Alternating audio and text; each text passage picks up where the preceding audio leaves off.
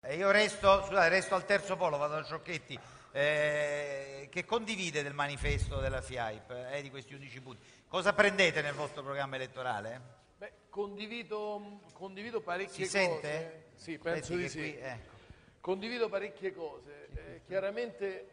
eh, io penso intanto che sarebbe il caso che col Presidente Righi e con le altre organizzazioni che sono qui presenti ci sia la possibilità Guardi, ecco, sia la possibilità di incontrarci il 26 febbraio, perché oggi qui è facile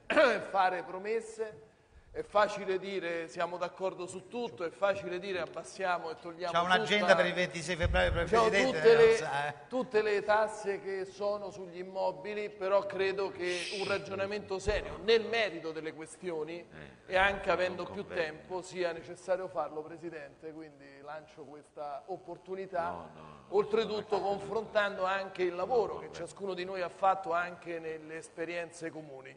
Eh, penso, l'onorevole Mantini parlava della rigenerazione urbana, io nel Lazio ho fatto un'esperienza di questo genere, avendo fatto una legge eh, che ha prodotto semplificazioni eh, con riutilizzo degli, degli immobili dismessi, eh, con un cambio di, di destinazione diretta senza dover fare interventi eh, di varianti urbanistiche che hanno bisogno di dieci anni, di semplificazione per cui il risultato e il referente è un soggetto solo istituzionale e non 50 pareri come in qualche modo oggi purtroppo per la legislazione italiana a livello nazionale eh, si è costretti a fare. Poi si parla di abbattere la corruzione, per abbattere la corruzione c'è bisogno di un unico referente e non 50 pareri diversi che vengono espressi da 50 enti diversi in cui si annida tutto quello che in qualche modo blocca la possibilità di intraprendere, di scommettere e di sviluppare. È chiaro che c'è bisogno di fare un'operazione importante di riqualificazione,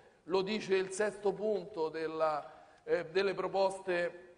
eh, del, eh, della, della vostra organizzazione. Credo che sia un punto su cui bisogna lavorare, bisogna fare una legge nazionale cornice che sia in grado di dare gli stessi indirizzi in tutte le regioni in tutte le amministrazioni. Riqualificare il patrimonio significa creare un nuovo modello di sviluppo nel campo dell'edilizia e dell'urbanistica, consumando meno terreno libero, ma nello stesso tempo anche creando occasioni di lavoro, di occupazione, di messa a regime, di riutilizzo di un patrimonio edilizio, l'invenduto, ma anche tutto quello che in qualche modo va rigenerato attraverso meccanismi di risparmio e di eh, ridefinizione. Credo che sia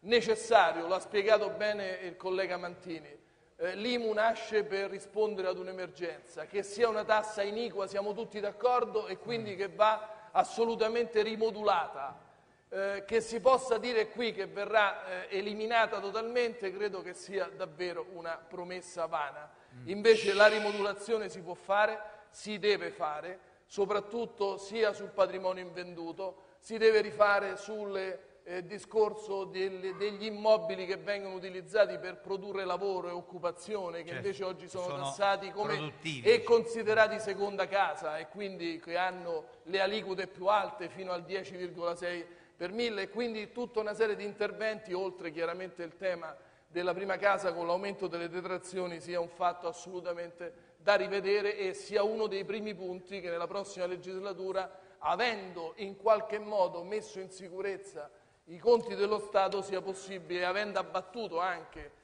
di qualche miliardo i tassi di interesse che l'Italia era costretta a pagare fino a 14 mesi fa, sia possibile trovare le risorse per poter fare interventi, interventi di questo genere. Non c'è dubbio che anche la lotta all'abusivismo del vostro settore sia un fatto assolutamente fondamentale e quindi che bisogna inasprire le norme di tutela per il lavoro, anche per il lavoro di garanzia che dovete dare nei confronti dei colleghi. C'è poi tutto il tema del credito, che credo sia una delle grandi questioni su cui bisogna ragionare non in termini polemici, ma in termini di trovare le soluzioni per riaprire la possibilità del credito, che credo che sia insieme alla tassazione, insieme alla sfiducia che eh, si è creata nel, nel nostro Paese da parte di tutti gli investitori, dei cittadini, delle famiglie e degli imprenditori, il tema del credito sia uno dei temi centrali su cui dover lavorare anche attraverso forme di garanzia